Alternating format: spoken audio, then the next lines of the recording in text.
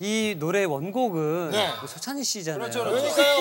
이거 또 새로운 경험을 좀 한번 해드리고 싶네요. 그렇죠. 사실은 이 노래가 있어요.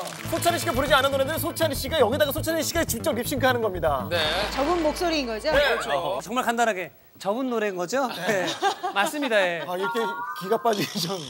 자, 음악 입이. 맞을란지. 아, 난 소찬희 씨 저 보폭이 너무 멋있어요.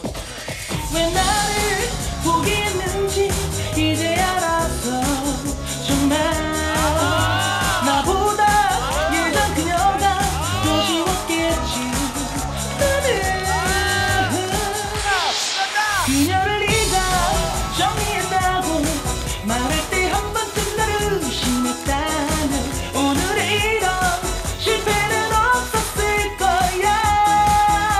우, 이젠 필요 없어. 모두 외줄게 찬성표의 별은 없잖아.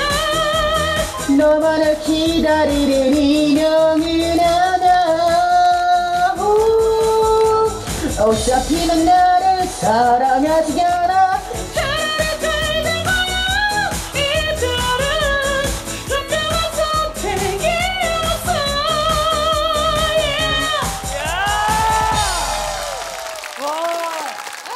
아니 왜 립싱크를 못 하신대요? 너무 잘하시는데. 잘하시네요.